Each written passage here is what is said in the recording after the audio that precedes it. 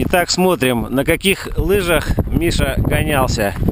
Как их спучило ото льда. Всем видно? Вот так вот. А это сам Миша, герой дня. Но честно, отгонял 5 гонок на таких спущенных лыжах. Как оно было?